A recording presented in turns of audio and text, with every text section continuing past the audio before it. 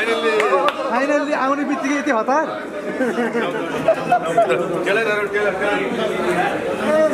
जस्तो यो ट्रेलर हेरिरहँदाखेरि एउटा अनुमान आउन सक्छ है यो हाइपोथेटिकल पनि होला। एक हिसाबले होइन अनुमान पनि हो होइन। यो भर्खरै हाम्रो पल्साजीको घटनासँग कतै कतै यो जोडिएको कथाहरू जस्तो होइन। यो होइन अनुमानै हुन्छ यो। यसलाई चाहिँ मैले डिक्लियरै गरिदिन्छ कि यो यसलाई सोच्दै नसोच हुन्छ यो सिनेमामा। किनकि यो अनुमान मात्र हो, गलत अनुमान हो। होइन अहिले रिसेन्टली जुन चाहिँ घटनाहरू घटाएको छ नि हो तर त्यो त्यो अनुमान चाहिँ नि रङ हो किनकि त्यो स्टोरीमा कहीँ पनि नै कतै पनि नै मिल्दैन। त्यो रङ हो किनकि यो यसको वे नै एउटा एज डिफ्रेन्सको लभ स्टोरी र त्यो इन बिट्विनमा चाहिँ एउटा नर्स एउटा सोसियल इस्यु उठाएको छ। नर्समा कुनै एउटा सानो मिस्टेकले गर्दा एकजना नर्सको लाइफमा के उतार चढाव आउन सक्छ भन्ने कुरा चाहिँ उठाएको छौँ। त्यो रिजनले गर्दा त्यो पाटोमा हामी छँदै छैनौँ नर्ससँगको लभ उम्, अब पहिलेको कुरा गरे हो अँ अँ रमाइलो हुन्थ्यो। रमाइलो हुन्थ्यो.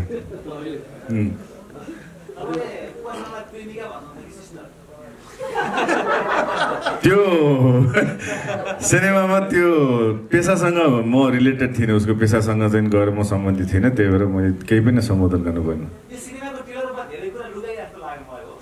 सबै कुरा नलुकाए त त्यो दुई घन्टा सिनेमा किन भनौँ यस्तो छ हामीले के छ भन्दाखेरि डिफ्रेन्ट टेस्ट दिँदै जाउँ भन्ने सोच हो। किनकि सुरुमा एक्सन प्याक टिजर आयो। सिनेमामा एक्सन कतिको छ ग कतिको गराउँछ भन्ने कुरा देखिहाल्यो। त्यसपछि हामीले लोकगीत ख देखायौँ। त्यसपछि अब चाहिँ नि अब सिनेमाको कन्टेन्ट देखाउनु पर्दाखेरि सिनेमा लभ स्टोरीमा पनि त बेस छ। थ्रिलर लभ स्टोरी सँगसँगै भन्दाखेरि डिफ्रेन्ट डिफ्रेन्ट कन्टेन्ट देखाउँदै जाने क्रममा चाहिँ अब त्यो पहिल्यै कन्टेन्टमा आइसक्यो टिजरमै एक्सन कतिको एक्सन प्याक छ भनेर त्यही भएर त्यो चिजलाई चाहिँ हामीले अभोइड गर्न खोजेका हौँ।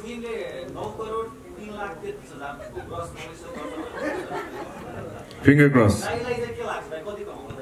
होइन मलाई त के छ भन्दाखेरि सिनेमाले जसरी म सिनेमासँग आबद्ध भएको छु जस सबै कुरा हेरेको छु सबै सबै कुरा देखेको छु सिनेमाको किनकि मैले सिनेमाभित्रको मान्छेलाई भन्दा पनि मैले आफ्नै व्यक्तिगत रूपमा चाहिँ आउटसाइडरलाई लगेर पनि सिनेमा देखाएको छु। आउटसाइडरलाई लगेर सिनेमा देख्दा देख्दाखेरि उहाँले पनि इन्जोय गर्दाखेरि त्यो हिसाबले गर्दाखेरि हाम्रो रामले बोलेको कुरा चाहिँ पुरा हुनसक्छ भन्ने कुरा चाहिँ लाग्छ मलाई आर्यन सिक्देललाई डिसेम्बर फल जस्तै जिन्दगीमा यसभन्दा अगाडि कहिले रेकर्ड दिएको योभन्दा अगाडि त्यो त मैले बिर्सेँ होइन? बिर्सेँ मैले तर ब्याक टु धेरै पछि सिनेमा आउँदाखेरि धेरै पछि कुनै सिनेमामा यति हो भएको। त्यो चाहिँ म मान्छु। लिजेन्ड सिनेमा बलियो सिनेमा। मेकिङ मात्र होइन स्टोरी अब जुन अहिले मान्छेले मन पराइरहनु भएको छ नि एउटा masala love story emotion comedy action thrill everything भएको सबै सम्पूर्ण प्याकेज त इन्टरटेन गर्ने मान्छेलाई त मनपर्छ नि त त्यो रिजनले गर्दाखेरि।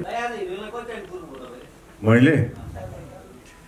जिन्दगीमा पहिलोपल्ट चार घन्टा ठिकै छ। समस्याहरू आउँछ सबैको जीवनमा कसैलाई के समस्या आउँछ समस्यालाई त्यसलाई नेगेटिभ रूपमा लिनु हुँदैन। किन सिनेमालाई माया नगरेको होइन उसले। सिनेमालाई माया गरिरहेको छ जतिखेर पनि क्युरियस छ सिनेमाको बारेमा तर आज व्यक्तिगत रूपमा उसको केही समस्या भएको होला। त्यसलाई हामीले नराम्रो नठानौँ। ऊ फ्यामिलीसहित आउँछु भन्ने प्लानमा थियो अझ। सिङ्गल पनि होइन। त्यो प्लान उसलाई पनि नरमाइलो लगाइरहेको होला उहाँनिर मलाई कुर्नु पर्दाखेरि नरमाइलो लाग्ला तर दर्शकलाई चाहिँ धेरै बेर नरमाइलो लाग्यो ठिकै छ त्यो अहिले दुइटाको नरमाइलो नरमाइलो रमाइलो मानेर हामी अगाडि बढौँ। तपाईँ प्रेममा कहिले बच्चा हुनु थाल्यो प्रेममा प्रेममा प्रेम प्रेममा? छैन यो यो फिल्ममा चाहिँ त्यो क्यारेक्टरहरू छ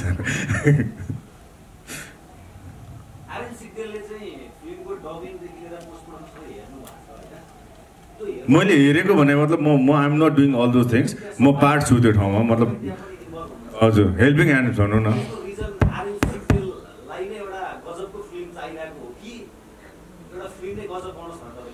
होइन होइन त्यो कुरामा त मेरो पहिलो सिनेमा थियो किस्मत छवि यहीँ हुनुहुन्छ।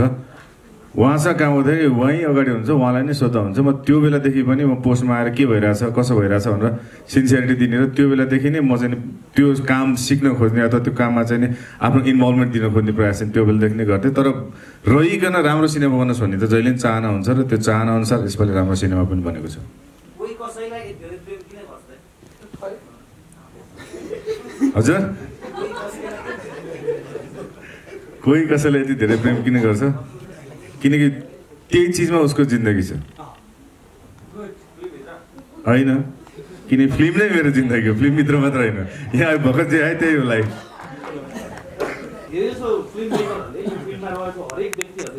केही समय ग्याप गरेपछि ठुलो कम ब्याक गर्न खोज्नुहुन्छ क्या। तर हुन त हुन्छ तर कम ब्याक हुन्छ क्या। थोरै मात्र ब्याक हुन्छ क्या. कम ब्याक चाहिँ होइन कि? थोरै.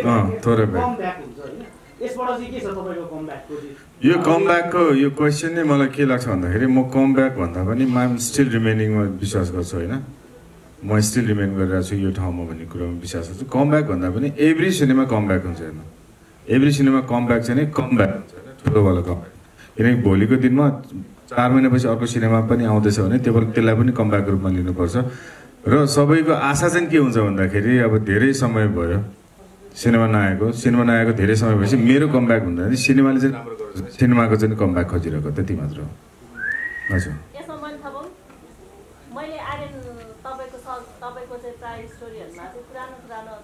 काम गर्नुभएको थियो होइन त्यो साथीहरूसँग सिन सेयर गरेको कुराहरू चाहिँ मैले त्यही हेरिरहेको छु क्या। जस्तै कमब्याक गर्दाखेरि तपाईँको चलचित्रहरू चाहिँ लगातार आइरहेछ होइन? तपाईँसँग काम गरेकाहरूको धेरैजनाको आइएको छैन नि त? उहाँहरूलाई चाहिँ काम चाहिँ किन नदिएको हो योमा चाहिँ के भन्न चाहनुहुन्छ?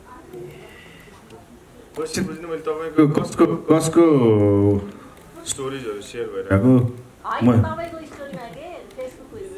ए तपाईँले फेसबुक फलो गर्नुहुन्छ होइन? म फेसबुक एक्टिभ हुने मान्छे नै होइन। मैले पहिला पनि ए कहाँ थियो यसको कनेक्सन म पहिला पनि मैले भनिसकेँ मेरो अफिसियल ब्लु टिक लागेको भनेको इन्स्टाग्राम मात्र हो। म बाँकी कुरामा अथेन्टिक नमान्नु होला।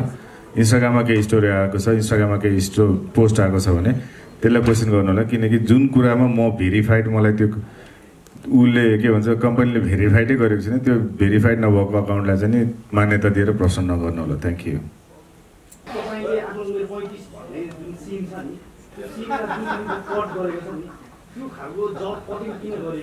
त्यो बन्देजीलाई सोध्नुपर्छ। ट्रेलर काट्ने उहाँले हो त्यो बन्दे। होइन होइन किन भन्दाखेरि त्यो धेरै कुराको ट्रेलर कटिङमा चाहिँ नि सार्प कटिङको धेरै वेहरू हुन्छ। त्यो वेमा कुन वे उहाँले अप्नाउनु अब बन्दी अहिले आएको भए बन्दीलाई नै यो माइक मैले दिन्थेँ। म बन्दिनँ बन्दिनँ बन्दिनँ। म कलाकारै ठिक छु एकदमै ठिक छु। कलाकारै ठिक हो। हजुर हजुर। डाइरेक्टर अहिले मैले सोचेको छैन। अहिले मैले सोचेको छैन। सोचेपछि भन्छु। थ्याङ्क यू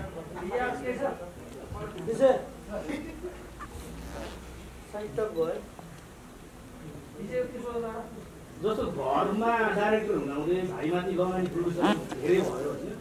यसबाट चाहिँ घरको सदस्यलाई छोडेर अर्को डाइरेक्टर किन गयो प्रड्युसर रामप्रसाद रियालजी। चारवटा घरको डाइरेक्टरबाटै बनाएको थिएँ।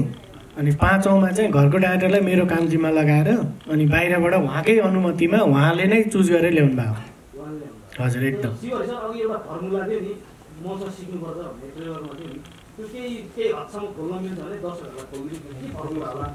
त्यो यो ट्रेलरमा डाइलग छ तपाईँको अब झन्डै एक डेढ वर्षै अगाडि सुटिङ भएको चिज मैले नै बिर्सिसकेँ त्यो किन? त्यसको लागि छुट्टै फर्मुला चाहिँ पुस पन्ध्र नै कुर्नुपर्छ कि? किनकि त्यो सरसर्ती त्यो सम्पूर्ण फिल्म हेर्दै गएपछि अनि यस्ता चिजहरूको अर्थ खोल्न थाल्छ। त्यो डाइलेक्ट जुन मलाई दिएको छ त्यसको लिङ्क कहीँ अरू कलाकारमा छ कि? होइन त्यो किसिमको हुन्छ। त्यो लिङ्क चाहिँ मैले हेरेको छैन। ओहो। हामीले नोटिस नगरेको उताबाट आयो होइन। त्यो कुन हिसाबले तपाईँ माथि त्यो व्याख्या गर्नुभएको छ? आज खोलिदिनुहोस् न। होइन होला अब अलिकति कपाल पनि पातलो पातलो। अनि अलिकति गाला पनि ठुल्ठुलो। अनुपम खेर जस्तै देखिने भएर हो कि? त्यो किसिमले अथवा उहाँले कुनै फिल्ममा अब यसो बाउको भूमिका यो किसिमको हुनुपर्छ यो क्यारेक्टरलाई चाहिँ यसरी लान सकियो भने राम्रो हुन्छ कि भनेर उहाँ अनुपम खेरको फ्यान भएको हुनाले त्यही गराउनु खोज्नु भएको हो कि? त्यो चाहिँ अब जे होस् गर गराउनु भएको छ तर टोटल्ली अनुपम खेरको पनि होइन त्यो पारा अलिकति आइदियो भने राम्रो हुन्छ भनेर एउटा दुइटा सिनमा चाहिँ उहाँले भन्नुभएको थियो। अब मैले गरेको छु गर्न चाहिँ। अब कतिको मिलेको छ त्यो चाहिँ अब पछि थाहा हुन्छ।